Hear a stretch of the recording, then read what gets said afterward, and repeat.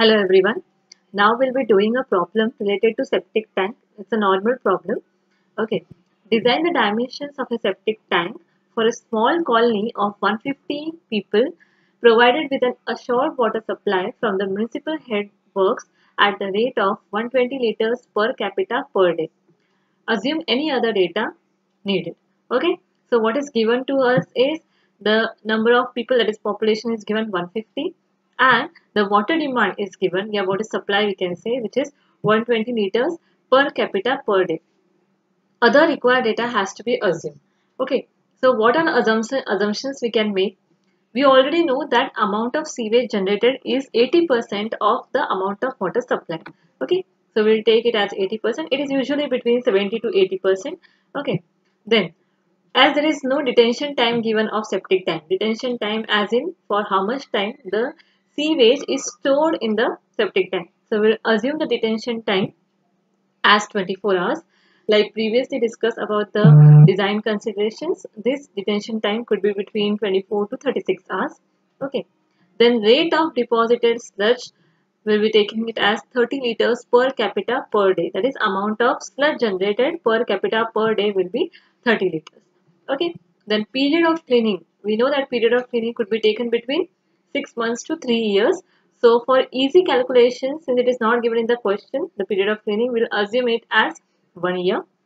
Depth can be taken between 1.2 to 1.8 meter and L can be twice of B or thrice of B. These all assumptions will have to make because this data is not given in the question. Okay.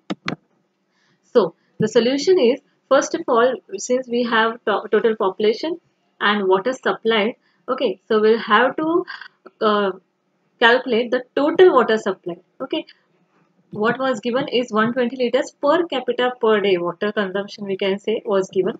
So for 150 people it will be 120 into 150 that is 18000 liters per day. Okay since we have taken that quantity of sewage produces 80% of the water supply so 80% of 18,000 is 14,400 liters per day. This is the amount of sewage that is produced or we can say generated. Okay. Then quantity of sewage produced during the detention period. Now I know that 14,400 liters is the amount of sewage generated in a particular day. But how much is the sewage generated yeah, sewage collected in the particular detention period that you have to calculate. Now since I have I have taken detention time as 24 hours which is also for easy calculation. So 14,400 liters per day into 24 hours that is the detention time okay that is 14,400 liters of generated sewage in a particular detention time okay which is 24 hours.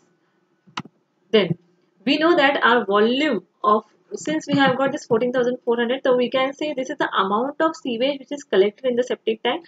But since we know that the capacity or volume of the septic tank, uh, septic tank does not only depend upon quantity of sewage it also depends upon the sludge deposited. Okay so that the next point is the volume of sludge deposited.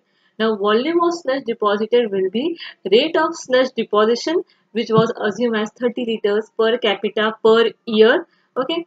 And number of persons in, that is 150 we know that is 150 is the count of people. And period of cleaning was assumed as in one year okay? So this gives me the amount of sludge that is generated in a particular year. Since i have taken period of cleaning as one year that means after one year this uh, septic tank will be clean off uh, out of the So in that one year, the amount of sludge generated is 4500 liters. Okay, 30 liters per capita per year. That is the rate of sludge deposition which was assumed. 150 was the number of people, the number of capita that was already given. And the year, that is the period of cleaning was assumed as one year. So I get the volume of sludge deposited for one year is 4500. So the total required capacity of the tank, septic tank will be volume of sewage which was 14,400 liters plus 4,500 liters that is the sludge volume which gives me the total of 18,900 liters or 18.9 in meter cube. Okay. Then since I know the depth of the tank can be taken between 1.2 to 1.8 meter So I take the depth of tank as say 1.5 meter. Uh, okay. So since hello. I get the s- the depth of the tank also and I also get the volume so I can calculate the surface area that is 18.9 divided by 1.5 which is nothing but 12.6 square meter. Now taking the length to width ratio as 3 is to 1. Okay, so length to width ratio if I take as 3 is to 1, so accordingly I'll get B as 2.1, L as 6 meter.